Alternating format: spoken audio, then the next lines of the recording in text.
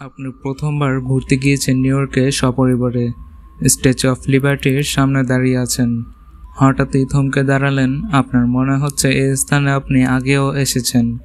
বেশ অনেক কিছুই আপনার পরিচিত মনে হচ্ছে। ধরুন, আপনি প্রথমবার ঘুরতে গিয়েছেন নিউ ইয়র্কে সপরিবারে। স্ট্যাচু অফ লিবার্টির সামনে দাঁড়িয়ে আছেন। হঠাৎই থমকে দাঁড়ালেন। আপনার মনে হচ্ছে এই স্থানে আপনি আগেও এসেছেন। বেশ অনেক কিছুই আপনার পরিচিত মনে হচ্ছে। ওয়েট কথাটি কি আমি দুবার বললাম? এমন কোনো ঘটনা যা আপনার সাথে প্রথম ঘটছে, অথচ আপনার মনে হচ্ছে এটি আপনার সাথে আগেই ঘটে গিয়েছে। এমন ঘটনা যা আপনার সাথে পূর্বে ঘটেনি, অথচ আপনার মনে হচ্ছে এটি আপনার সাথে ঘটেছে। এমন ঘটনাকেই বলা হয় দেজা ভু বিশ্বের দুই তৃতীয়াংশ মানুষের দাবি যে তারা কখনো না কখনো এই ধরনের ঘটনার শিকার হয়েছেন। অর্থাৎ প্রথমবার কোনো কাজ করা সত্ত্বেও তাদের মনে হচ্ছে যে এমন আগেও ঘটেছে তাদের সাথে। এ ঘটনাকেই বলে দেজা ভু দেজা ভু একটি ফ্রেঞ্চ শব্দ, যার অর্থ অলরেডি সিন অর্থাৎ আগে থেকেই দেখা। দেজাবু বলতে এমন অভিজ্ঞতাকে থাকা আগে বোঝায় যা প্রকৃতপক্ষে কখনো অনুভবই করা হয় না।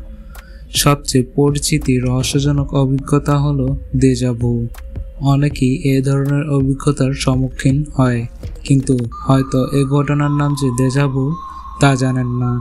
আজকে আমরা জানব দেজাবু কি, কীভাবে ঘটে থাকে। আশা করি শেষ পর্যন্ত থাকবেন। তো চলুন শুরু করা যাক।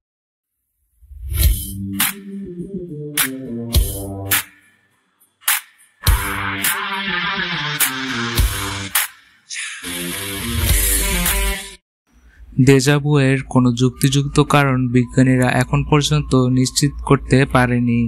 এটি সবচেয়ে পরিচিত ব্যাখ্যাতীত বিষয়গুলোর একটি।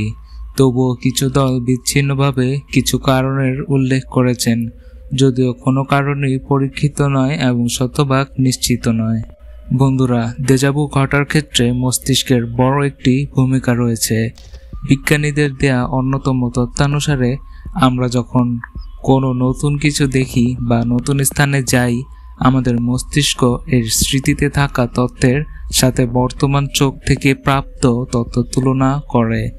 যখনই বর্তমান পাওয়া তথ্য এবং স্মৃতি থেকে পাওয়া তথ্য মিলে যায়, আমাদের মস্তিষ্ক আমাদের সংকেত দেয় যে জিনিসটি বা স্থানটি আমাদের পরিচিত।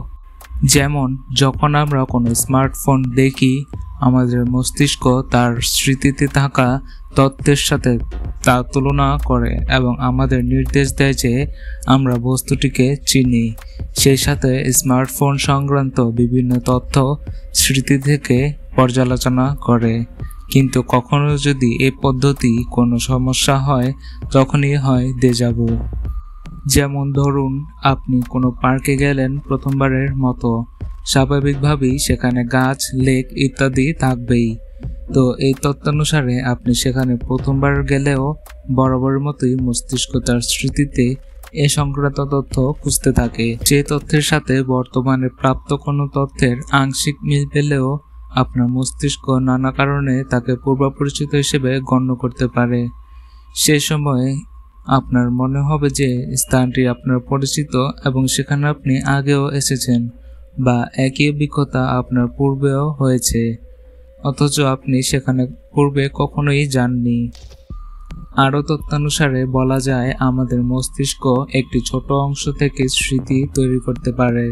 উদাহরণস্বরূপ, কোনো ঘটনা ঘটার সময় আমরা ঘটনাটির দৃশ্য, শব্দ ও ঘ্রাণ গ্রহণ করলাম। অর্থাৎ এই ঘটনার সাথে তিনটি অভিজ্ঞতা সম্পৃক্ত। এখন যদি এই কাছাকাছি কোনো ঘটনা ঘটে, সেখানে আমরা শুধু ঘ্রাণ বা শব্দ অনুভূতি গ্রহণ করলাম। সেখানেও আমাদের মস্তিষ্ক অপর অনুভূতি গ্রহণ না করেই একে পূর্বানুভূতির সাথে মিলিয়ে ফেলতে পারে। অর্থাৎ অপর একটি অনুভূতি নিজে থেকেই তৈরি করে আমাদের কাছে উপস্থাপন করতে পারে। ফলশ্রুতিতে আমাদের মনে হয়, একই অভিজ্ঞতা আমাদের পূর্বেও হয়েছে, যার অর্থ হলো দেজাভু প্রায় প্রত্যেকেই কখনো না কখনো দেজাভু এর অভিজ্ঞতা পেয়েছেন। কিন্তু এই অভিজ্ঞতা খুব কমই ঘটে। যদি আপনার বা আপনার পরিচিত কারোর সাথে এই দেজাবু মাঝে মধ্যেই ঘটে তাহলে দ্রুত ডাক্তারের পরামর্শ নেওয়া প্রয়োজন। বন্ধুরা দেজাবুয়ের মধ্যে অনেকগুলো প্রকারভেদ রয়েছে, যেগুলোর মধ্যে অন্যতম হলো দেজা এনটেন্ডু। এটি হলে আপনার মনে হবে কোনো গান বা শব্দ আপনি আগে থেকেই শুনেছেন, অথচ ওই গান বা শব্দটি আপনি আগে কখনোই শোনেননি।